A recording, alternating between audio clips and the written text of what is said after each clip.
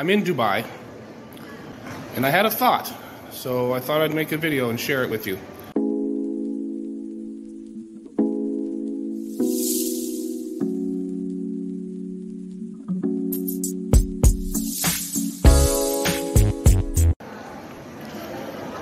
Hello and welcome to Jay's Way. I am at the airport. I'm flying international. I sound a little echoey and I apologize for that. I don't have my at home equipment, but I hope that's okay. So, I'm in Dubai. Lately, I've been in Paris and Armenia, just flying around, mostly visiting my fiance. And I have learned a couple of things that I thought I would share. Mostly about just acceptance and recognizing that not everything goes my way. I have lived most of my life in a bubble. And I think this is applicable to relationships. Not everybody lives the way that we live. I have seen female only prayer rooms, male only prayer rooms. I've seen booths for Arabic worship.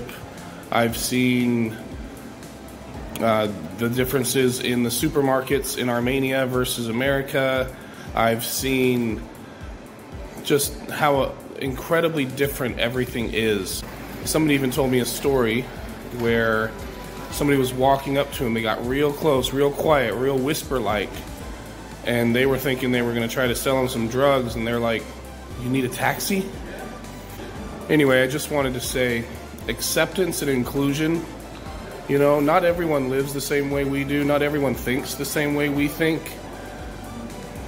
And it's really important that we recognize and, and understand that because we aren't supervisors of our spouses. It's not our job to tell our husband or wife how they need to think and the way they need to do things. We're a team. And as a relationship, in, in a relationship, we come together, we unite. That's the thought I had. You know, this, this world is very different than the bubble that I've had myself in for so long. And I really enjoy seeing that other people do things in different ways and it's got me reflecting on my relationships with my children, with my fiance, and as I work in my marriage to try to make it successful as time goes on.